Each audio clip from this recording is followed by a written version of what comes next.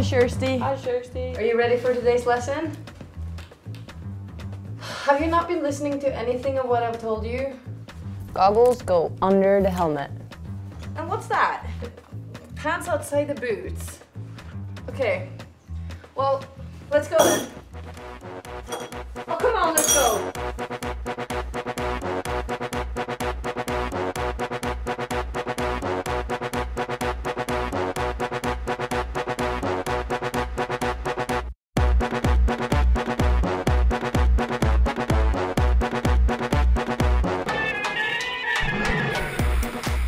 For the 360, you should take a little bit more speed so you know you'll make it to the landing.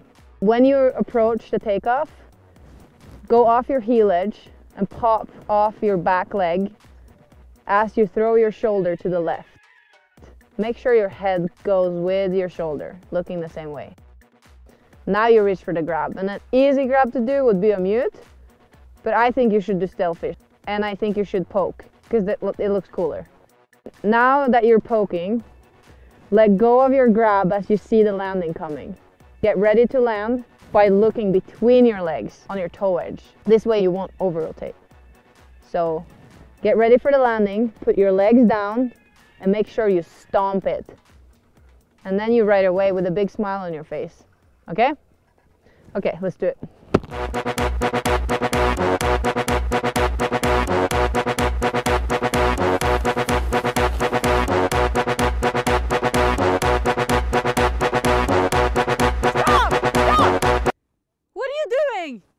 Back. Pull your pants down. You know I don't wear them that high.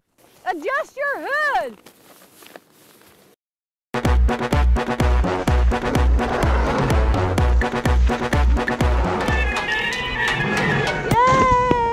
Yay! Good job. Keep practicing like that, and one day you'll be as good as me.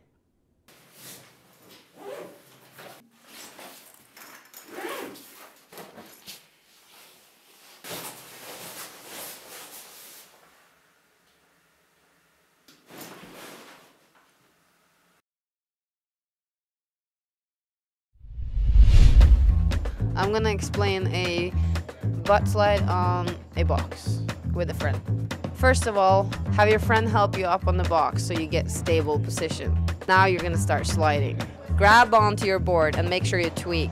Let go of the grab and pop off your butt and stomp the landing. Make sure your friend gets off the rail safe as well. And that, fellow humans, is a butt slide on the box.